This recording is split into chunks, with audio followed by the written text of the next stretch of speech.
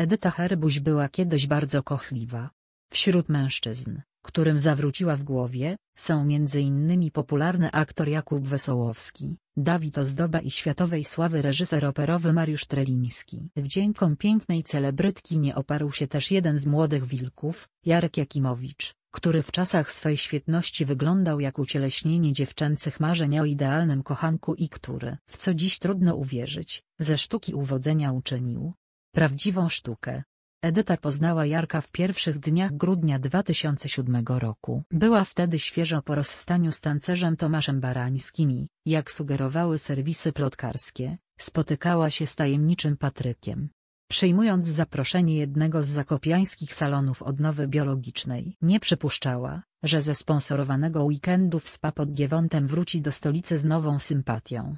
O tym, że Jarosław Jakimowicz rozpalił jej zmysły. Cała Polska dowiedziała się z życia na gorąco, które zamieściło na swych łamach obszerną fotorelację z Zakopanego. Herbuś i Jakimowicz byli jej głównymi bohaterami. Znajomi Jarka i Edyty uważają, że zanosi się na coś bardzo poważnego, obwieściło życie na gorąco. Nie byłoby nic dziwnego w tym, że młody wilk zagiął parol na ponętną tancerko, aktorkę, gdyby nie fakt, że był wtedy w związku z niejaką Patrycją. Miał nieślubnego syna z kelnerką pracującą w jego klubie i wciąż formalnie miał żonę. Z Joanną Sarapatą rozwiódł się dopiero trzy lata później. Edyta zauroczyła aktora całkowicie. W Zakopanem spędzali ze sobą każdą minutę, po powrocie do Warszawy nadal się nie rozstają, informowały tabloidy. Gdy paparazzi przyłapali parę na zakupach w stołecznej galerii handlowej i podczas spaceru po zaśnieżonych łazienkach. Jarosław Jakimowicz oficjalnie nazywał Edytę Herbuś koleżanką i zarzekał się, że nie ma z nią romansu.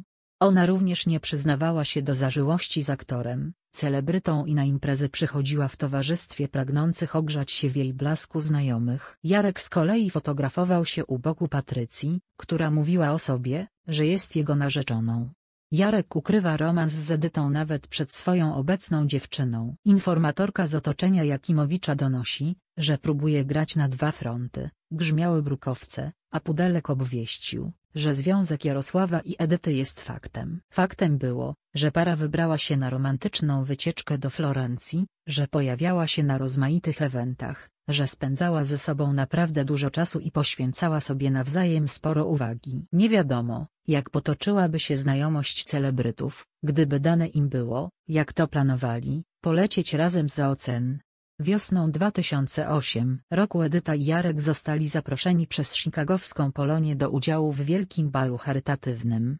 Jakimowicz miał poprowadzić imprezę, Herbuś miała dać przed spragnionymi wrażeń rodaków pokaz swych tanecznych umiejętności. Tancerka pochwaliła się w wywiadzie, że dostała wizę amerykańską i spakowała już walizki. Niestety, okazało się, że Jarosław, który miał kupić bilety lotnicze sobie i partnerce, poskąpił grosza i zapłacił tylko za siebie. Edyta musiała zostać w domu, a on poleciał do Chicago i, jako główna, jedyna, gwiazda, brylował na balu polonusów. Po powrocie z Chicago Jarek nie miał już po co uderzać do Edyty, bo ta nie była zainteresowana kontynuowaniem znajomości z nim. Drzwi pokazała mu też Patrycja. Młody wilk szybko znalazł sobie nową dziewczynę, zaczął lansować się u boku Joli Rutowicz. Edyta z kolei związała się z Maciejem Kawulskim. Później została muzą Mariusza Trelińskiego, aż w końcu zaczęła układać sobie życie z ojcem córki Edyty Gardias, Piotrem Bukowieckim, z którym jest do dziś. Edyta Herbuś, pytana o Jakimowicza, kategorycznie zaprzecza, że przed laty łączyło ją z nim coś więcej niż koleżeństwo. On również wymazał ją ze swych wspomnień. W autobiograficznej książce Życie jak film nie poświęcił Edycie nawet jednego akapitu. Zobacz też, Edyta Herbuś spełnia się w roli macochy. Wychowuje dzieci wspólnie z Piotrem Bukowieckim afera wokół TVP. Jarosław Jakimowicz zwrócił się do szefowej PNS Jarosław Jakimowicz może mieć spore kłopoty. Były prezenter TVP stanie przed sądem Edyta Herbuś popularny aktor Jakub Wesołowski, Dawid Ozdoba i światowej sławy reżyser operowy Mariusz Treliński. Jarek Jakimowicz była wtedy świeżo po rozstaniu z tancerzem Tomaszem Barańskim i, jak sugerowały serwisy plotkarskie, spotykała się z tajemniczym Patrykiem. Jarosław Jakimowicz rozpalił jej zmysły. Cała Polska dowiedziała się z życia na gorąco, które zamieściło na swych łamach obszerną fotorelację z Zakopanego. Był wtedy w związku z niejaką Patrycją wciąż formalnie miał żonę. Z Joanną Sarapatą rozwiódł się dopiero trzy lata później. Oficjalnie nazywał Edytę Herbuś koleżanką i zarzekał się, że nie ma z nią romansu. Jarek ukrywa romans z Edytą nawet przed swoją obecną dziewczyną niestety. Okazało się, że Jarosław, który miał kupić bilety lotnicze sobie i partnerce, poskąpił grosza i zapłacił tylko za siebie. Nie była zainteresowana kontynuowaniem znajomości z nim. Edyta Herbuś, pytana o Jakimowicza, kategorycznie zaprzecza, że przed laty łączyło ją z nim coś więcej niż koleżeństwo.